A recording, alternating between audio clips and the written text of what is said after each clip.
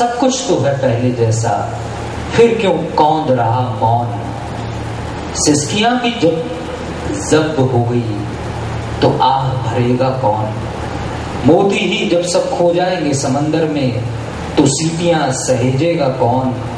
जगजीत, तुम्हारे लभी खामोश हो गए तो अब गज़ल कहेगा कौन? न कोई संदेश जाने वो कौन सा देश जहाँ तुम चले।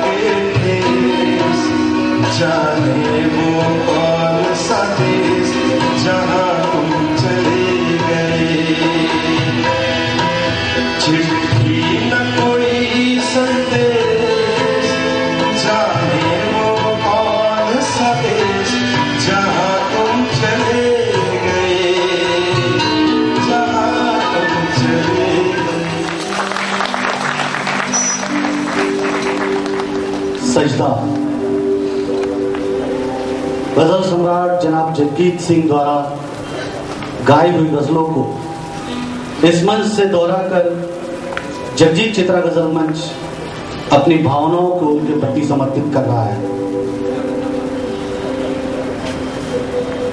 और ऐसे में हमारे साथ जुड़े आप सभी मोअज़्ज़िज़ मेहमान जो यहाँ पे आए हुए हैं, मैं अभय नाइक आप सभी लोगों का तहे दिल से इस्तकबाल करता हूँ। मित्रों, ये हमारा सौभाग्य रहा है कि आज हमारे साथ आदरणीय श्री श्री रतन जी डागा जो जगजीत सिंह जी के अभिन्न मित्र रहे हैं। और पिछले 20 वर्षों से जगजीत चित्रा गज़ल मंच को मार्गदर्शन कर रहे हैं। आज हमारे बीच है। मैं, हमारे आशीष श्रीवास्तव जी, उनसे निवेदन करूँगा कि उनको एक तुलसी का पौधा देकर उनका स्वागत करें।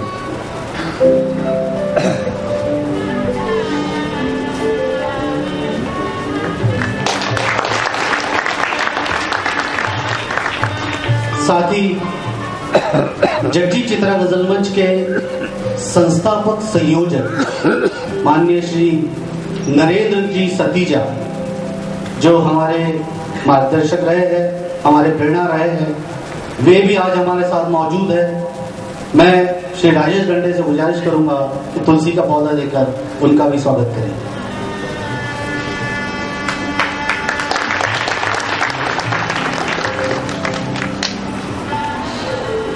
उर्दू साहित्य की अपार सेवा करते हुए जिन्होंने उर्दू की बहुत सेवा की, ऐसे डॉक्टर विनय वायकर भी आज हमारे साथ मौजूद है। उनसे भी हमने बहुत प्रेरणा ली है। मैं हमारे मंच के सेक्रेटरी श्री कौस्तुभ दीक्षित से गुजारिश करूँगा कि उनका भी पौधा देकर स्वागत करें।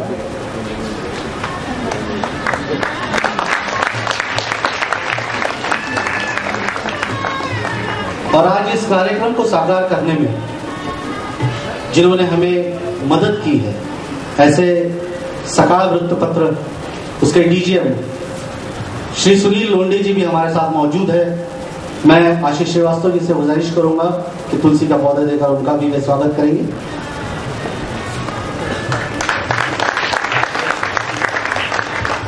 साथ में Max health care multi specialty hospital के श्री लोचन बासागड़े कश्मीर डेकोरेशन के श्री जहीर भाई।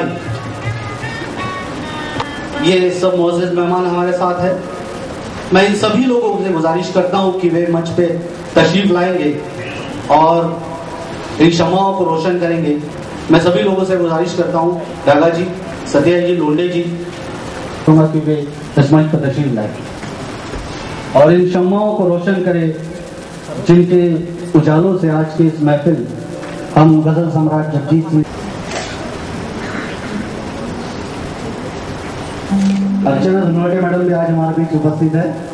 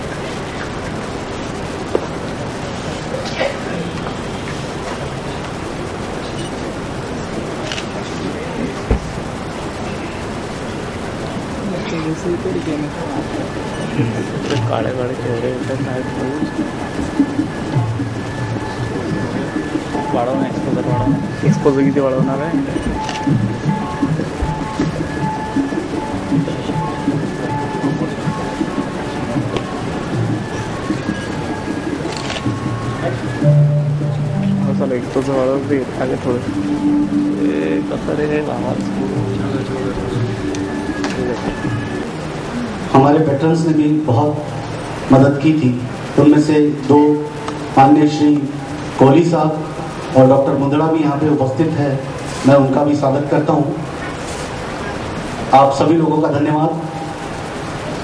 गज़ल का साज उठाओ, बड़ी उदास है रात। नवाए वीर सुनाओ, बड़ी उदास है रात। आप लोगों की इजाज़त से इब्तदा करता हूँ।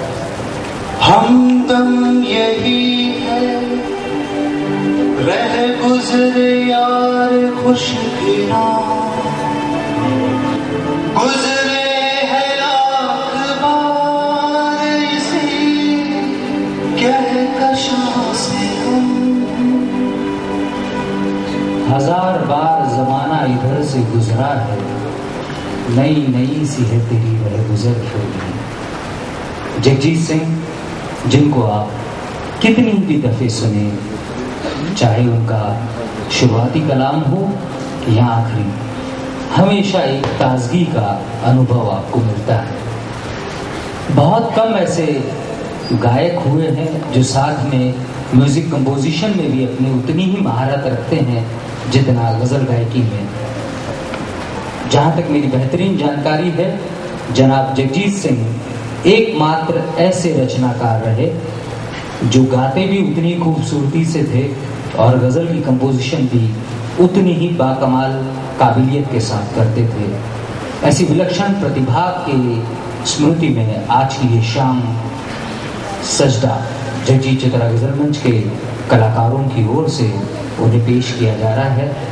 मैं आप सभी मोज़ मेहमानों का बहुत शुक्रगुजार हूँ क्योंकि बहुत हौसला आपने हमें दिया है।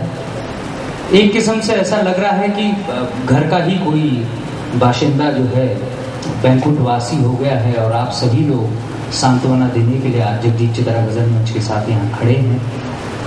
मैं चाहूँगा कि गज़ल की जो शमाएँ यहाँ रोशन हुई हैं और उसको अपनी आवाज़ के ज़रिए से उजालों की शक्ल जो बख्शते रहे हैं। जनाब शिशिर पारखी साहब, आप सभी के बहुत परिचित गज़ल गायक, जिनके तकरीबन सौ एल्बम अभी तक के आपकी पेश नज़र हो चुके हैं, वो अपनी आवाज़ के साथ आदरांजलि के तौर पर जगजी जी का गाया हुआ ये भजन हे राम प्रस्तुत करें। और आप सभी से अनुरोध है कि इस राम धुनि में अपने स्वरों को भी संतुलित करें। जनाब शिशिर पारखी।